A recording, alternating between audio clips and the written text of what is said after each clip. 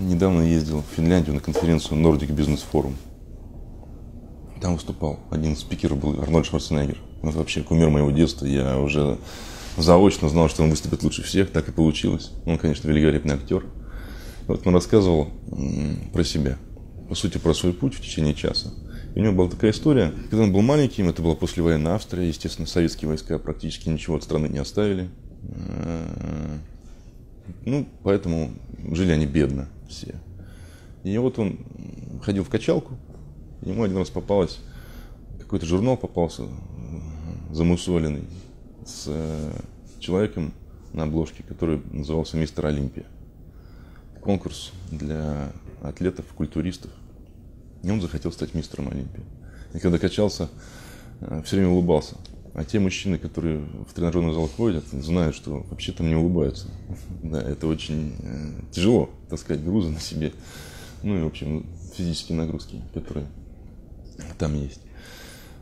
Ему спрашивали, Арнольд, ты что, дурачок? Ты почему улыбаешься все время? И он говорит, только в этот момент я возвращался в тренажерный зал и понимал, что действительно мне тяжело. Потому что когда я занимался спортом, я не был в этом зале.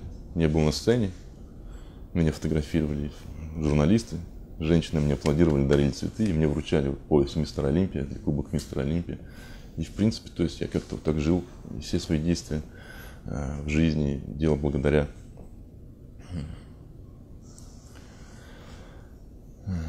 своему представлению о том, как должно быть. Если читали книжку Виктора Франкла «Сказать жизни да», такая очень серьезная книжка, нужно ее прочитать. Она тоненькая, про жизнь в концлагере. Он психолог. Ну, естественно, это большая беда. Люди, которые туда попадали, они э, сдавались и не хотели даже бороться за свою жизнь, потому что знали, что не сегодня, так завтра они умрут. И благодаря ему он около 40 человек спас.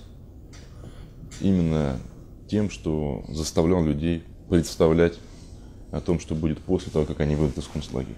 Вот у него был друг, он говорил, я не хочу больше жить, мы все равно умрем, нас либо в газовой камере убьют, либо э, просто от холода, от голода. А он ему говорил, рассказывай мне, что будет после концлагеря. Ты кто? Он говорит, я профессор. Вот давай, расскажи мне, как ты читаешь лекции перед студентами уже о том, как ты вышел из концлагеря. Заставлял его пересказывать этот рассказ каждый день. И таким образом человек визуализировал свое будущее. А ты кто? А я отец двоих дочерей, у меня больше ничего нет. Я никто, я рабочий. Представь себе, как твои дочери тебя встречают, когда ты выходишь с поезда, обнимают тебя. Таким образом он пытался сделать из людей, то есть не сделать из людей, а пытался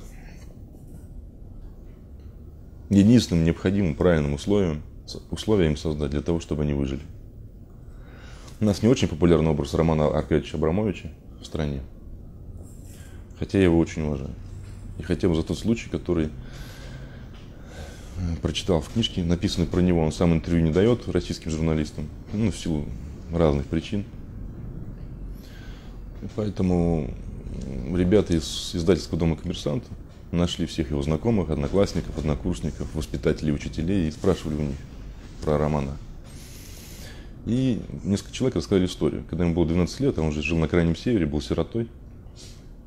Они ходили в кино со своим классом.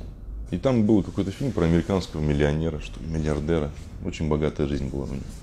И они вышли, зима, холод, смеются. И Рома говорит, я буду жить так же, как он. Когда-то. Наступит такой момент. Ну, естественно, с ним, над ним посмеялись, потому что ты кто такой? Босота, сирота, никого у тебя нет. Ну, мы знаем, чем закончилась история. Человек 12 лет придумал себе, каким он должен быть. Ну и потом начали открываться возможности. Честно скажу, скажу, что вот я могу поклясться сколько угодно, потому что доказать это очень сложно. Я недавно убирался в своем кабинете, нашел ежедневник. 2013 года, в начале года я написал себе цели на этот год. И там одна из первых целей 45 татуировок менеджер, лучшая бизнес-книга года написана. Я ее тогда еще не написал. Я ее не написал. Она была только здесь в голове. Но я знал, что так будет. И, ну, конечно, страшно так говорить, боишься сглазить или там мало ли еще что. Но это именно жизнь. Благодар... Жизнь по-другому выстраивается, когда ты понимаешь, чего ты хочешь.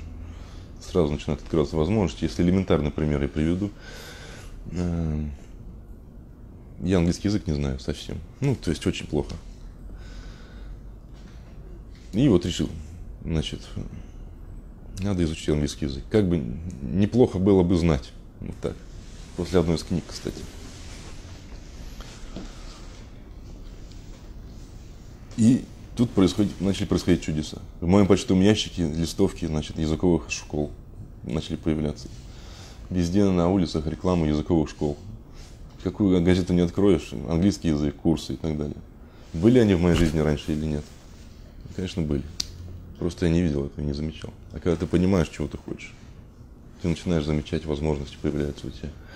И живешь по-другому. Но в нашей стране мы сидим на кухне по вечерам, обсуждаем, как сегодня плохо поступили руководители, какие плохие клиенты были э, и так далее. У нас не умеют жить по-другому.